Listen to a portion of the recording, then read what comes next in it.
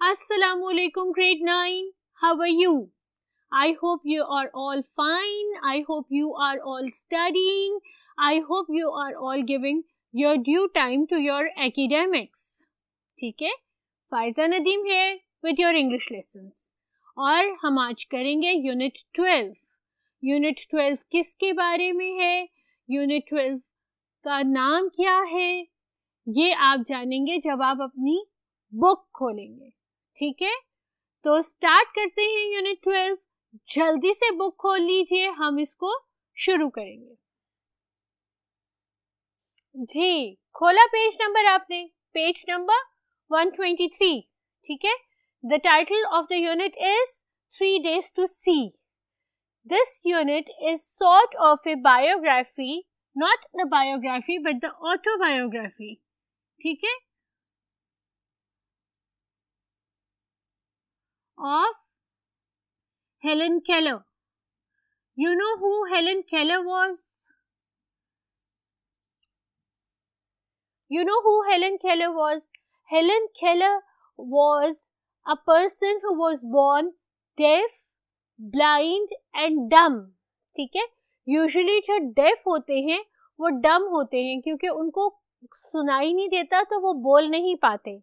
ज़रूरी नहीं है कि जो डम हो, वो डेफ भी हो, वो सुन लेते हैं, लेकिन बोल नहीं पाते। लेकिन डेफ जो होते हैं, वो यूजुअली डम भी होते हैं कि उनको सुनाई ज़रूर देता है, पर वो बोल नहीं पाते। लेकिन हेलन केलर एक ऐसी बच्ची थी जो पैदाइशी, गूँगी, बहरी और अंधी थी।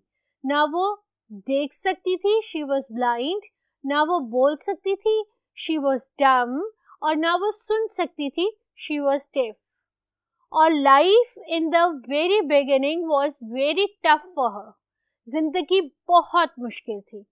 इस कदर मुश्किल थी कि समझ नहीं आता था, उसको कुछ ऑब्वियसली जो बच्चे को सुनाई नहीं दे, दिखाई नहीं दे, वो बच्चा कैसे कंट्रोल में आएगा? जो बोल नहीं सकता। तो उसके एक टीचर ने उसका हाथ पकड़ा, उसको ब्रेल इंट्रोड्यूस कराई, उसको टच करके कि ये इस तरह से उभरे हुए, जो डॉट से उनका मतलब ये है, सिर्फ़ आपकी sense of touch you have five senses ना? Taste vision smell listen and touch so only with the sense of touch she was able to identify the words she able to understand life and then slowly and gradually she graduated. So, she is basically a role model to all of us. Further इस lesson को इस unit को आपको explain करूँगी. First thing first हम लोग करेंगे word meanings word meanings are very important because आपकी जो पैराग्राफ की ट्रांसलेशन है, वो आपके एग्ज़ाम में आती है. You have to attempt two out of three and each paragraph carry four marks so paragraph translation is extremely important जल्दी से अपना पेन और अपना पेंसिल और अपनी टेक्स्ट बुक अपने सामने रखिए। जैसे जैसे मैं पढ़ती जाऊँगी, वैसे वैसे वर्ड्स को अंडरलाइन करके उनकी ट्रांसलेशन लिखते रहिए। मैंने हेल्पिंग वर्ड्स डिफ़िकल्ट वर्ड्स और उनकी ट्रांसलेशन बोर्ड पे लिख दी है। आपका काम है इनको कॉपी एंड पेस्ट करना और फिर अपने पूरे पैराग्राफ की कंप्लीट ट्रांसलेशन कर लेना। ठीक है? आहिस्ते आहिस्ते मैं पढ़ूँगी साथ साथ एक्सप्लेन करूँगी ताकि आपसे कोई वर्ड मिस ना हो। In any case if you miss anything you can always pause me up and then copy it down ठीक है? So the first word is excellent which means बहुत आला। एम्फोसाइज ज़ोर देना शार्पली तेज़ी से। जेंटलनेस शराफत विगौर जोश एप्रिसिएशन तारीफ़ पैनोरामा नज़ारा एडॉप्ट इख्तियार करना चेसेंट इसलाह की इम्पेंडिंग डेथ छाई हुई मौत डूम्ड बदकिस्मत फॉर्च्यून खुशकिस्मती से एप्रिसिएटिव काबिल तारीफ़ स्पिरिचुअल रूहानी by this time, i hope you have copied them down and you have written the translation or the urdu meaning, ठीक है? नेक्स्ट लाइन पढ़ने लगी हूँ। शेडो साया मेलो खुशगवार इलस्ट्रेट बयान करना इमेजिन तस्वर करना कंपेनियनशिप साथ मिरेकल मोजसा मैग्निफिसेंट आला कंप्रेस्ड इकट्ठा होना एंशियस परेशान होना। रेवलेशन इंकशाफ रिग्रेट पछतावा। लॉन्गिंग ख्वाहिश। एनिमेट जानदार। कुछ वोकेबलरी मीनिंग्स इस बोर्ड पे मैंने जो लिखी हुई थी, वो यहाँ मौजूद हैं। मैंने आपको रीड करके सुना दी, ताकि आपको ना सिर्फ़ उनकी मीनिंग्स बल्कि उसकी प्रोनाउंसिएशन भी क्लियर हो जाए। ठीक है? आपने again and again I repeat the same word मैं क्यों इतना एम्फेसाइज करती हूँ? क्यों इस लफ्ज़ को दोबारा दोबारा बोलती हूँ? इन अल्फाज को दोबारा दोबारा बोलती हूँ? और क्यों आपको हर दफ़ा ये बताती हूँ? इसलिए कि ये आपके मार्क्स के लिए बहुत इंपॉर्टेंट है।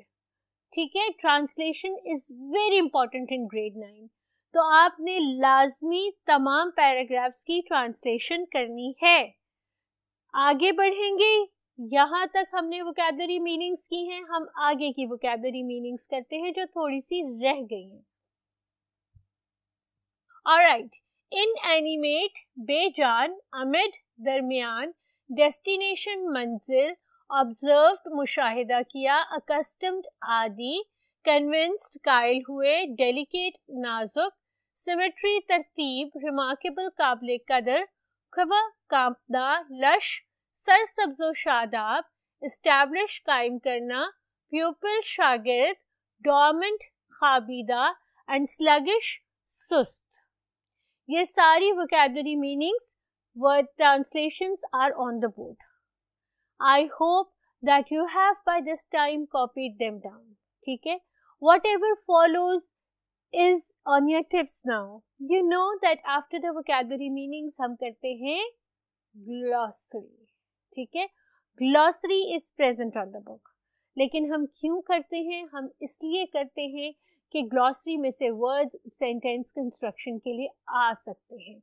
ग्लॉसरी में से वर्ड्स सिनोनिम्स लिखने के लिए आ सकते हैं। तो हम अपने मार्क्स के लिए, अपने मैट्रिक के मार्क्स के लिए कोई भी रिस्क लेना नहीं चाहते। We want to do everything in order to gain maximum marks ठीक है? तो glossary is on the board I read the vocabulary and the definition and then I'll construct sentences for each and every glossary word for you.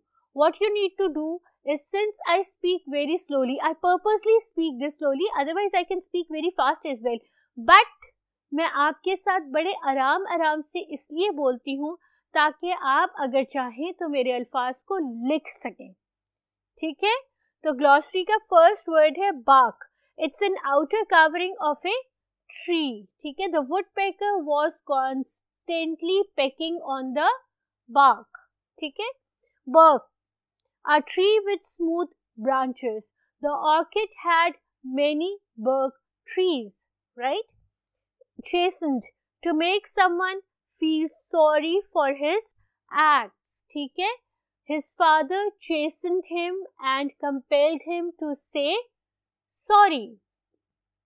Doomed, certain to fail, suffer and die. If you are not studying enough, you are doomed in your final exam, right? Inanimate, not alive the way people, plants and animals are. The inanimate objects around you make your physical environment. Okay? Mellow, become less extreme in behavior. After his father's long chat, he became far mellow than what he was earlier. Okay? After his father discussed a lot of things with him, he became a mellow character. Pageant, a series of interesting events. And which pageant do you know about? The beauty pageant, right?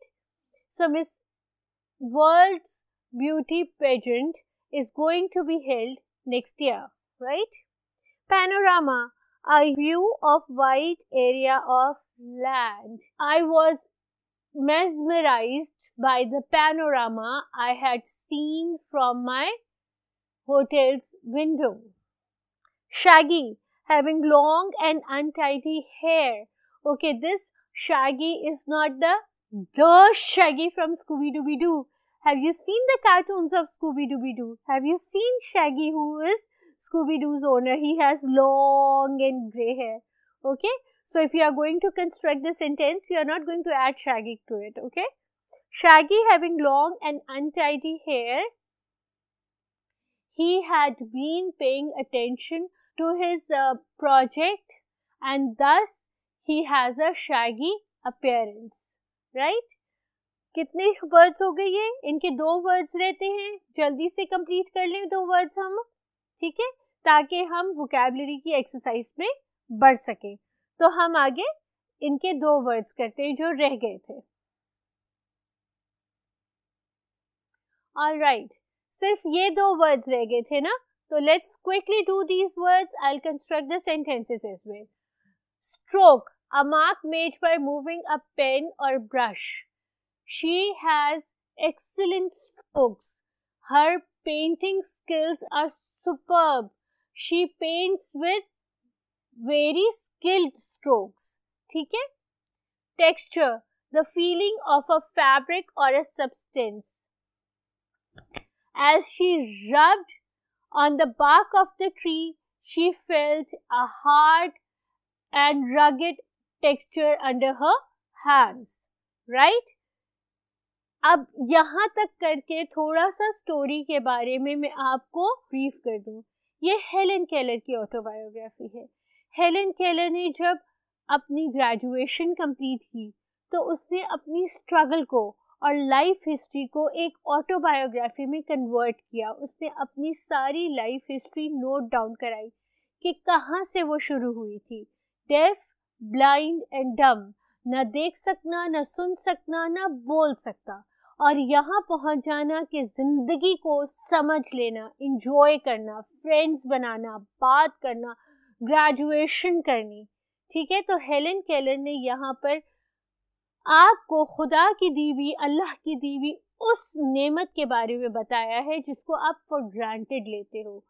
Your vision the see the eyes that you see एक paragraph में Helen Keller कहती है कि मैंने अपनी friend से पूछा कि तुम अभी एक लॉन्ग वॉक करके आई हो तो तुमने क्या देखा? तो उसकी फ्रेंड ने कहा नथिंग स्पेशल तो Helen Keller was surprise she said कि आप एक घंटा बाहर नेचर वॉक पे जाएँ और आप कुछ भी ना देख सकें। ऐसा कैसे हो सकता है?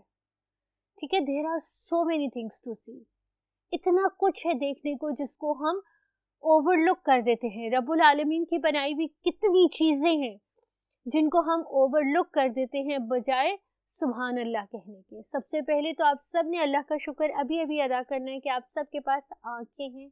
आप देख सकते हैं। ठीक है? फिर हेलन केलर यहाँ कहती है कि सबसे पहले अगर तीन दिन मेरे पास हुए तो पहले दिन तो मैं उन लोगों से मिलूँगी, उन लोगों से बात करूँगी जिन्होंने मेरी ज़िंदगी को फॉर्मेट किया, जिन्होंने मुझे वो बनाया जो मैं अब हूँ। फिर मैं उन लोगों से मिलूँगी जो हमारी दुनिया का माजी थे।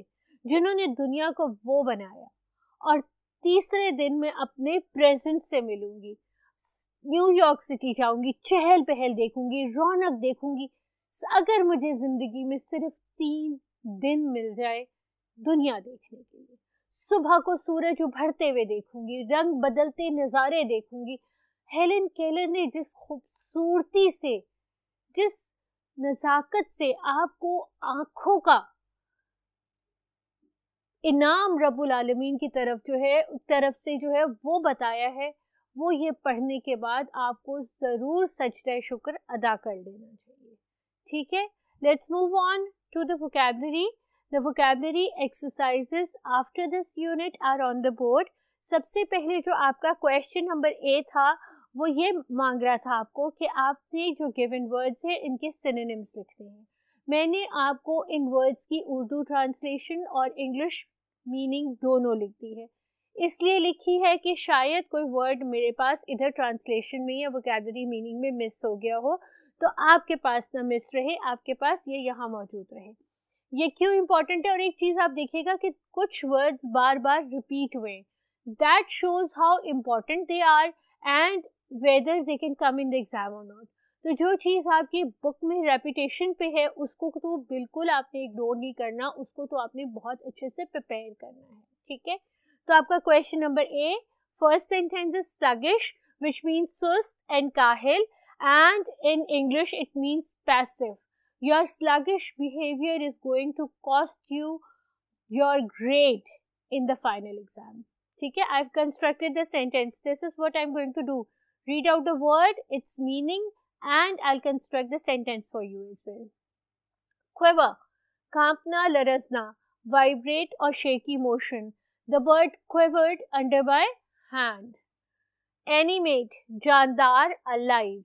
Alright, the animated cat was making a lot of noise ठीक है पैनोरामा चारों अतराफ का मुसलसल नज़ारा a complete view of every direction or a picture as I was going to Murray. The panorama out of my car's window was mesmerizing, was enchanting. Buoyant, Zindadili. His buoyant attitude has made him popular among all his friends. Dormant, खाबीदा inactive capable of being alive ठीक है dormant वो होते हैं जो for the time being inactive हो जाते हैं आपने बहुत दफ़ा अपने बाबा से सुना होगा कि उनका अकाउंट डॉर्मेंट हो गया ठीक है, उसका मतलब ये होता है कि आपने उसको काफ़ी अरसे से इस्तेमाल नहीं किया तो वो डॉर्मेंट हो गया है, उसको दोबारा ज़िंदा करना है। ठीक है? तो यहाँ पे डॉर्मेंट आप ये लिखेंगे कि for the time being he has become dormant but he will be active once the schools will start ठीक है?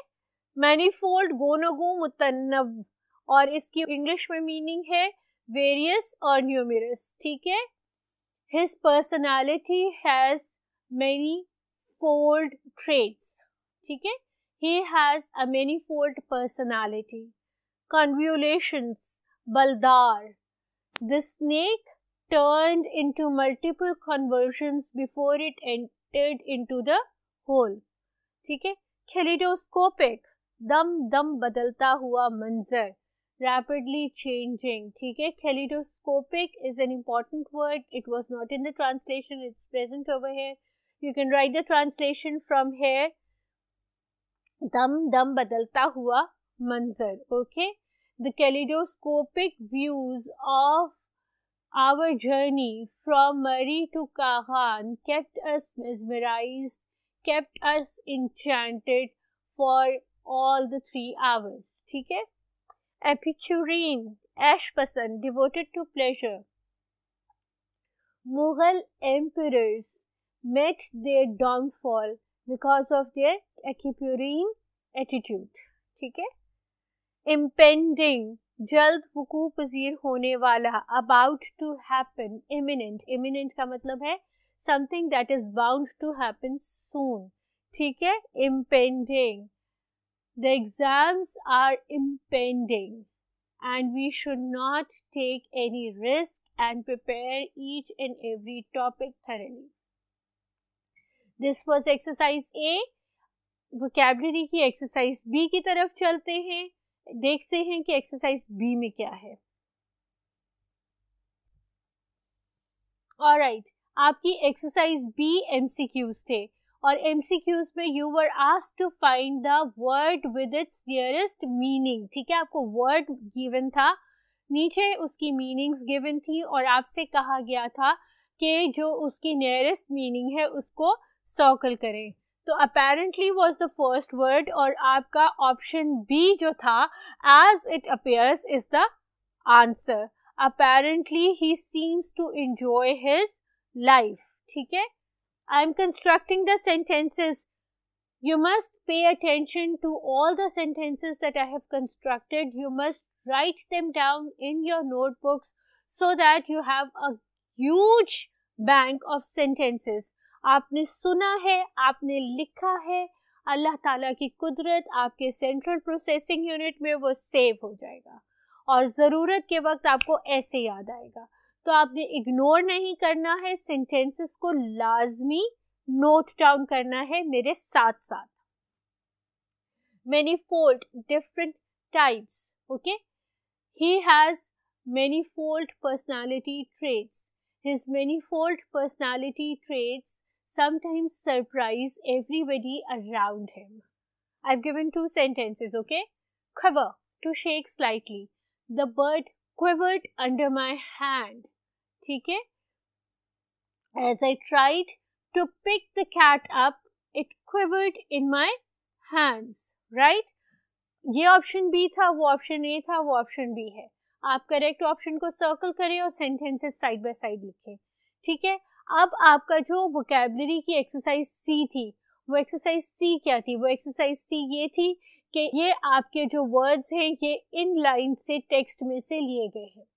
आपने इनके करीब करीब की मीनिंग्स लिखनी थी। मीनिंग्स मैंने आपको लिख दी है, ठीक है? ये वर्ड्स इन लाइंस में से टेक्स्ट में से पिक किए गए थे and you were ask to write the meanings alright so emphasize to lay stress my father always emphasized to pay attention towards my academics ठीक है? My father always emphasizes to keep my academics as my priority. Appreciative, admiring. We must be appreciative towards all the luxuries that our parents have provided to us. Lush, luxuriant. The lush green grass of the park was inviting everybody to sit down and have a hearty meal or have a hearty time. ठीक है Pageant, splendid show spectacle. The world's beauty pageant is going to start from the next year or the world's beauty pageant will be held next year. Vocabulary exercises की glossary की unit twelve को समझा, जाना unit twelve किसके बारे में है? मैंने आपको थोड़ा सा उसकी आउटलाइन थोड़ा सा उसका टेक्स्ट सब कुछ आपको समझाया। किसने लिखा? हेलन केलर ने। क्या है उसकी बायोग्राफी वर्ड ट्रांसलेशन हमने की और हमने ढेर सारे सेंटेंसेस कंस्ट्रक्ट किए। Although the sentences are not in the board, but i've verbally given two sentences of as many words as I could ठीक है I hope that by this time you have noted them down in your copies and you will have a good sentence bank spread for your final exams ठीक है अपना बहुत ध्यान रखिएगा, पढ़ते रहिएगा। इनशाला नेक्स्ट लेक्चर में मिलेंगे थ्री डेज़ टू सी के क्वेश्चन आंसर्स के साथ। अल्लाह हाफिज़।